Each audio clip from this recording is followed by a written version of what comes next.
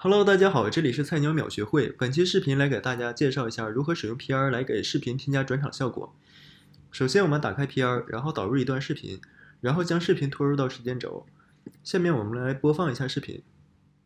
各位，现在到了见证奇迹的时刻。下面我们来给这段视频添加一个转场效果。首先，我们需要对这个视频进行一下切割。首先按 C 键，然后鼠标会变成一把小刀。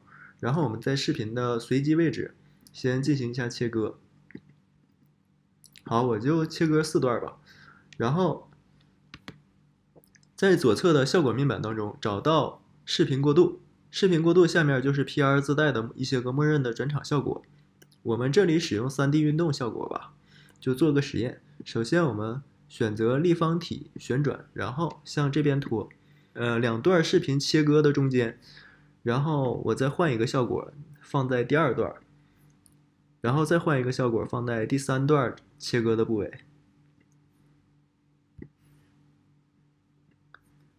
然后再来一个换一个到第四段。